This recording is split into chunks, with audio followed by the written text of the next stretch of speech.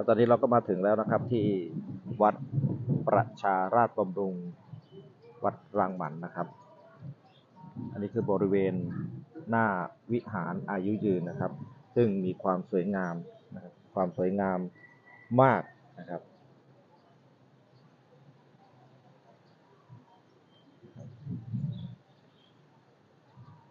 อันนี้คือเป็นด้านหน้าวิหารอายุยืน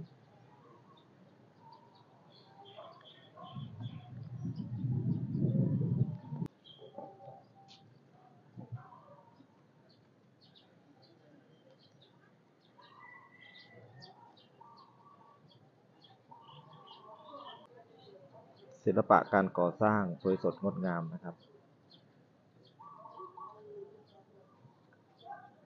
จะมีรูปพระเดชพระคุณหลวงปู่แพ้วปวโรวัดรางหมันของเรานะครับประดิษฐานอยู่หน้าวิหารอายุยืน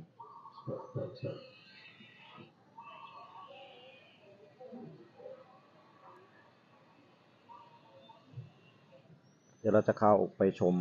ภายในวิหารกันนะครับ ด้านหน้าวิหารอายุยืนนะครับ จะเป็นที่ประดิษฐานรูปออกรูปหล่อ